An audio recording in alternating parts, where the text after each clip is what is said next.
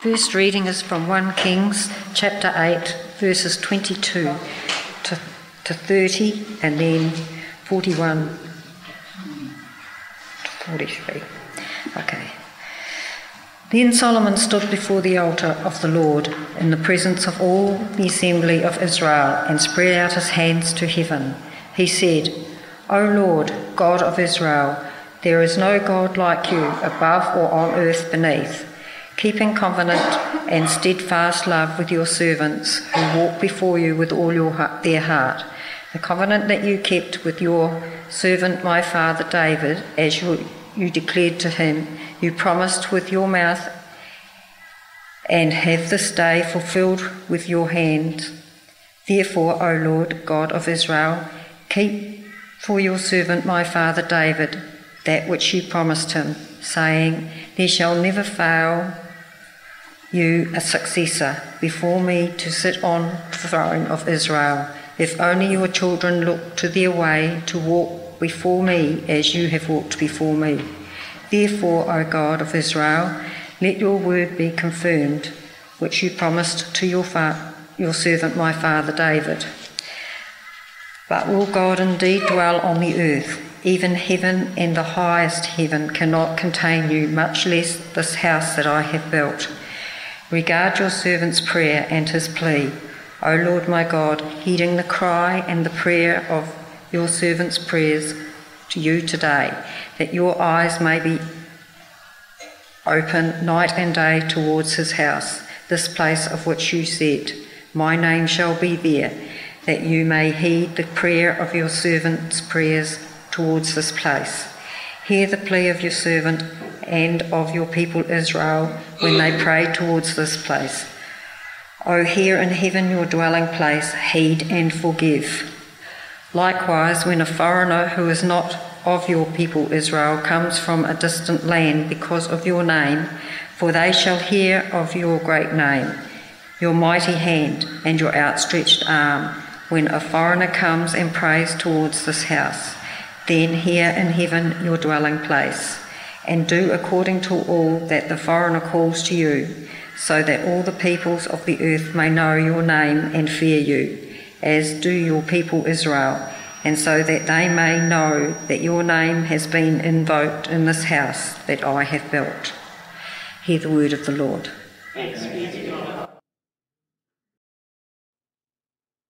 Our psalm this morning is at Psalm 84, and I'll just say it. How lovely is your dwelling place, O Lord of hosts! My soul longs, indeed, it faints for the courts of the Lord. My heart and my flesh sing for joy to the living God. Even the sparrow finds a home, and the swallow a nest for herself, where she may lay her young. At your altars, O Lord of hosts, my King and my God. Happy are those who live in your house ever singing your praise, Selah. Happy are those whose strength is in you, in whose heart are the highways to Zion. As they go through the valley of Baca, they make it a place of springs. The early rain also covers it with pools. They go from strength to strength. The God of gods will be seen in Zion. O Lord God of hosts, hear my prayer, give ear. O God of Jacob, Selah, behold our shield, O God. Look on the face of your anointed. For a day in your courts is better than a thousand elsewhere. I would rather be a doorkeeper in the house of my God than live in the tents of wickedness. For the Lord God is a sun and shield. He bestows favour and honour. No good thing does the Lord withhold from those who walk uprightly. O Lord of hosts, happy is everyone in true trust in you. Now, the New Testament reading is from the Ephesians chapter 6, beginning at verse 10 through to verse 20.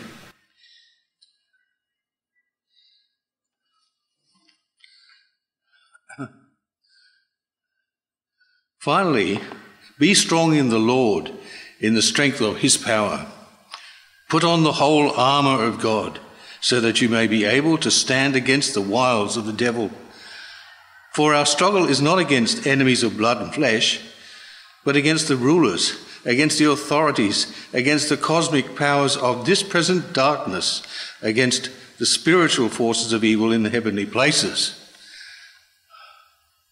Therefore, take up the whole armor of God, so that you may be able to withstand on that evil day, and having done everything, to stand firm. Stand therefore, and fasten the belt of truth around your waist, and put on the breastplate of righteousness. As shoes for your feet, put on whatever you will make you ready to proclaim the gospel of peace. With all of these, take the shield of faith with which you will be able to quench all the flaming arrows of the evil one. Take the helmet of salvation and the sword of the Spirit, which is the Word of God. Pray in the Spirit at all times, in every prayer and supplication. To that end, keep alert and always persevere in supplication for all the saints. Pray also for me, so that when I speak, a message may be given to me to make known with boldness the mystery of the gospel, for which I am an ambassador in chains. Pray that I may declare it boldly as I must speak. Here's the word of God. Thanks be God. The Lord be with you. The Holy Gospel of our Lord Jesus Christ according to John, chapter 6 beginning at verse 56. Glory to you, Lord Jesus Christ. Those who eat my flesh and drink my blood abide in me, and I in them. Just as the living Father sent me, and I live because of the Father, so whatever eats me will live because of me. This is the bread that came down from heaven, not like that which your ancestors ate and they died. But the one who eats this bread will live forever. He said these things while he was teaching in the synagogue at Capernaum. When many of his disciples heard it, they said, This teaching is difficult. Who can accept it? But Jesus, being aware that his disciples were complaining about it, said to them, Does this offend you? Then what if you were to see the Son of Man ascending to where he was before? It is the Spirit that gives life. The flesh is useless. The words that I have spoken to you are spirit and life. But among you, there are some who do not believe. For Jesus knew from the first the, who were the ones that did not believe, and who was the one that would betray him. And he said, for this reason I have told you that no one can come to me unless it is granted by the Father. Because of this, many of his disciples turned back and no longer went about with him. So Jesus asked the twelve, Do you also wish to go away? Simon Peter answered them, Lord, to whom can we go? You have the words of eternal life. We have come to believe and know that you are the Holy One of God. This is the gospel of the Lord. Let us pray. May the words of my mouth and the meditations of all our hearts be always acceptable in your sight, O Lord, our strength and our Redeemer. Amen.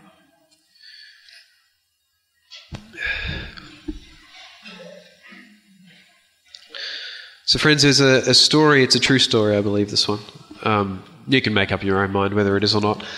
Um, a, a, wise priest once told me this story that he was uh, back in the 70s when this sort of stuff was really common. He used to go and do RE or RI or whatever you want to call it these days uh, in schools. and he went in and he was wearing his collar as, as it was common to. Uh, and one little boy ran up to him and said to him, Oh, I know what that collar means. I know what the collar is. And he, his, his heart kind of leapt a little bit. He thought, oh, this is great. You know, this is a little sort of seven year old boy comes running up to him. Obviously, he's a well churched kid. Uh, and he said, yeah. He said, that's a flea collar.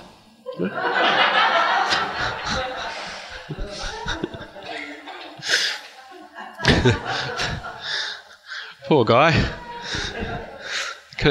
These are the kind of uh, you know instances that you wish you kind of had yourself. Um, it it sort of that, that story came to mind when I read um, the Old Testament reading. But funnily enough, this week you have this great teaching uh, about the importance, really, of the place of worship to begin with, you know, even to the point of if a foreigner comes from another land in order to worship here, uh, basically make sure you treat them really well, right? Because we want to draw everybody in, uh, and, and God wants everyone to be part of, of God's family, grafted on, that sort of thing.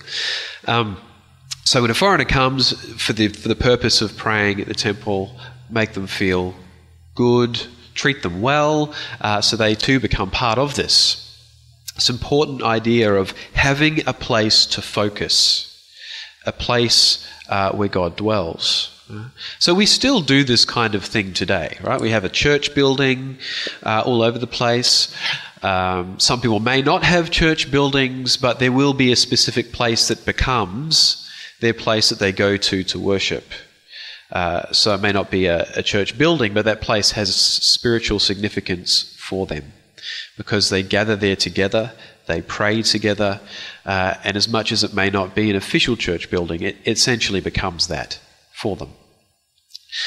Uh, and you hear the great stories of churches that begin in the lounge rooms of people's houses and eventually they become big churches. So it is true that the places where we worship, uh, like this one, uh, this lovely building uh, built in the early 90s, uh, become important to us. Uh, they become places where we encounter Christ together, uh, we pray together, and we partake in Holy Communion together. All of those great things. We have women's breakfasts and men's breakfasts, and we chat together uh, over coffee, or at op shops we hand food to people who need it the most. They're important places. But the Old Testament goes further than that, because our reading from Kings says, nowhere can contain God. Nothing is big enough to contain God. So, the second import of that teaching is when we leave this place, it's no different to what it was when we were here. We have a different focus, we have a different intent. We come here for specific reasons. But when we leave the church, we are still the church, right? God is still just as intimately with us. And our discipleship is still just as important to us in those times. So, the story of the collar, why did I think of that? Well, because at different times and in different places, we approach things in different ways depending on where we are. So, if you come to a church, you see a priest or a minister standing up and they're wearing a collar, you know what that is, right? It's the, the collar, the symbol of their office. Uh, they're here to do a specific duty, and that duty is religious and spiritual. That's why we still wear robes and things at times. Because we're not, we're not here uh, just doing a normal secular business thing, right? We're here very clearly for a specific spiritual reason and the clothes that we wear, wear reflect that. But when we're out in the world, the way that that kid uh, saw the collar as just a flea collar, right, makes sense to him. And of course, he, he wasn't in a specific place to worship. So, how else would he uh, kind of relate that in his head? So, here we dress in a certain way. Uh, maybe out in the public, we just look like everybody else. Um, and it's the same kind of thing with our worship. Here, we come here to worship specifically in a certain way. We follow certain rituals, uh, certain forms of service, but out in the public, you know, we're still worshiping every day. We're still praying every day. And when we have those deep discussions with people, when we're trying to uphold people and love people and guide people, that in itself is almost an act of worship. It just looks different. So then we come to the uh, Ephesians reading, and the author is really ramping up to the end of this letter. And to him, it's extremely important that they recognize and understand the spiritual forces that are happening all around them.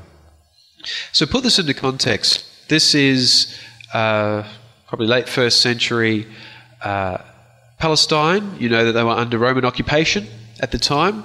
So, everywhere there were people with swords, shields, uh, armor, all of that kind of stuff. Sometimes that was used to keep the peace, uh, and it was a good thing. Other times it was used to push people out of their land so that they could occupy it.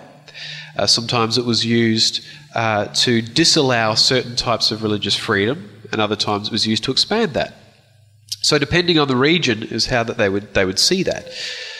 But he's using common images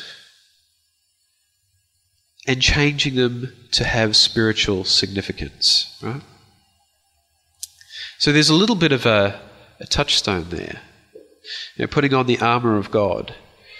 We have to be careful to realise that this isn't something literal. So when we when we're going into an uh, you know a situation where we may be worried about something spiritually, uh, we start praying for these specific swords and shields and armors and all that kind of stuff.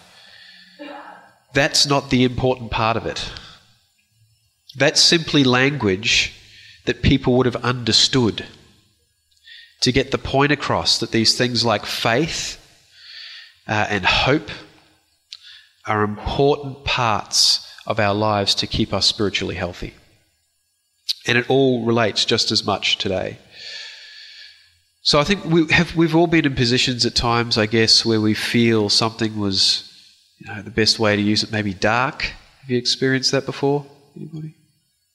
Nobody has experienced that? That's great. It's excellent. You're getting through life really, really well. Uh, or experiences where you just felt sort of weighed down by things. So that, there's a spiritual reality to that, and it happens, you know, through our human bodies because we can't get out of those. Whenever we think, we're thinking with a human mind. As much as we'd like to say things like, don't think with your human mind, think with your spiritual mind. Well, we're humans. We have those spiritual thoughts through human brains, right? When we get in those positions, usually it's because somebody's not treating others well. Right? Quite often it's because there's some untruth going on, uh, or there's someone trying to take advantage of another, or we feel anxious going into a situation because we're worried about how somebody is going to treat us. Things like faith and hope are indispensable tools in those situations. Courage and compassion, all of those incredible things sustain us. And at the heart of that is Christ. Christ is the light in that darkness, the one that shines brighter than any darkness could possibly contain. And Ephesians was trying to get that across to a group of people who were just starting to follow Jesus and probably getting oppressed themselves. That was starting to happen. That oppression of the first Christians. Set your eyes upon Christ. Remember the light that Christ offers. And then we get to the Gospels where Jesus is talking again about his body and his blood and completely giving of himself. Could you put yourself in that position with the disciples today? Was it almost relatable? You have a group of people who followed this guy, right? One of many people claiming to be a Messiah around that time. Most of the others were put to death, uh, and their disciples also at times. And now he's saying, in no uncertain terms, he's going to give himself up completely give of himself for the sins of the world. You see how the disciples might be a bit afraid of that? This isn't what they were waiting for. They were waiting for a Davidic king to come in, usher in the new age in Jerusalem, and for Israel to take over the land again, right? That's not what Jesus came for. He came to flip that on its head and do something far more important that spreads far further than Israel. In fact, it goes across the globe. And so they're saying, Lord, this, this teaching is, is hard. How could we possibly follow this? And then a whole bunch we hear of his disciples just leave. You can almost imagine how Jesus would have felt at that time as well. He's standing there, he's teaching them this integral part of why he came, and then many just abandon him. But of course, he doesn't lose hope, he doesn't lose conviction. This is Christ, this is our God. He just looks at the 12 and says, what, You guys going to leave as well? They say, Where are we going to go? Right. Now, there's a, there's a very practical element to that. You know, they've followed this guy now, everybody knows who they are. Um, if they leave, they don't really have anywhere to go. He's already taught them, you know, leave your home, leave your family behind, and follow me. They've done that. So, practically, where are they going to go? But they make it very clear that they mean they have seen the truth of what he's saying. They understand who he is. There is no point in leaving him because there is nowhere better on this earth to be than with him. And so they stay with him. so, friends, there's a lesson there for us as well. It's not, it's not always easy being a follower of Jesus, right? It's certainly not always easy being a disciple. Keeping integrity and keeping with your convictions. There'll be time when you'll say things and people will leave, metaphorically and physically. There'll be times when you're doing your best to follow Christ or follow the teaching or what uh, you feel Christ is leading you to, and it won't bring you instant joy. it won't bring you everything you pray for.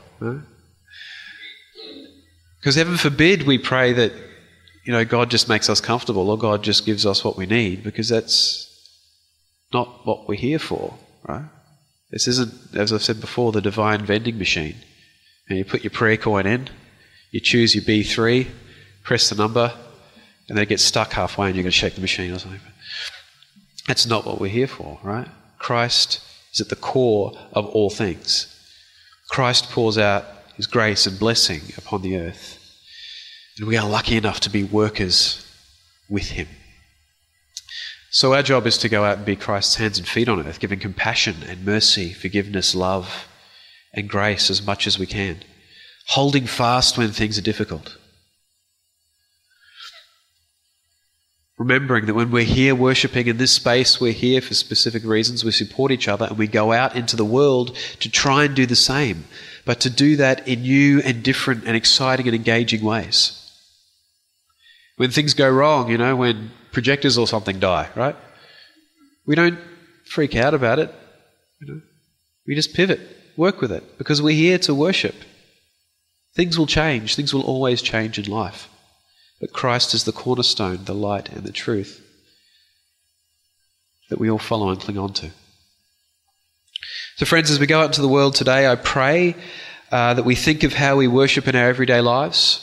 We think of what prayer looks like when we're not formally praying. Uh, we think of what discipleship looks like when we're not thinking about being disciples. I pray that we remember that Christ gave fully of himself, didn't become the dictator, but became part of us and that we give great thanks for this gift. We understand our responsibility, and in all things, worship the Lord that came to be with us. In the name of God, the Creator, Redeemer, and Sustainer. Amen.